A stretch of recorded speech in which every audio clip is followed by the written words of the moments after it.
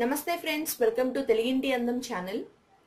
మూఢనమ్మకాలకు మత విశ్వాసాలకు ఇండియా పుట్టినీలుగా భావిస్తారు.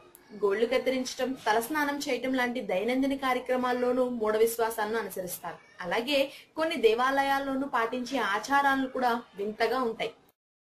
వీటిని కొందరు గుడ్డి నమ్మకాలుగా విమర్శిస్తుంటారు. అతీంద్రియ శక్తులు కలిగిన ఆలయాల్లో మనసులోని కోరికలు చెప్పుకుంటే నెరవేరుతాయనేది హిందువుల నమ్మకం. దేశంలో అలాంటి దేవాలయాల జాబితాలు చాలానే ఉన్నాయి. అవేంటో ఈరోజు మనం ఈ వీడియోలో తెలుసుకుందాం.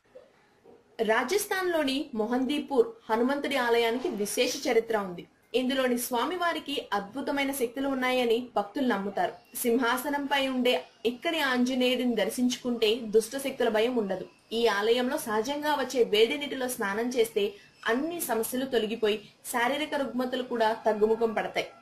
గుడిలోని మూల విరాట్కు మద్యం నైవేద్యంగా సమర్పిస్తారు. స్వామి నోటి దగ్గర గిన్నె పెట్టగానే అందులోని మద్యం అదృశ్యమవుతుంది.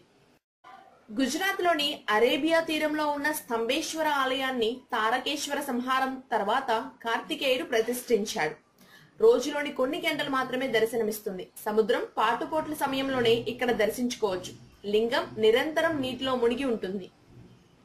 అలాగే రాజస్థాన్లోని కర్ణీమాత కర్ణీ మాత ఆలయంలో మూషికాలను ఆరాధిస్తారు. మరణించిన పూర్వీకుల అవతారంగా ఎలుకలు భావిస్తారు. ఎలుక మరణించి తర్వాత మానవ జన్మ ధరిస్తుందనేది నమ్మకం.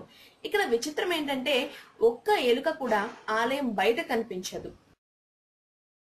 హిమాచల్ ప్రదేశ్లోని జ్వాలాముఖి దేవి ఆలయానికి కూడా ఒక ప్రత్యేకత ఉంది.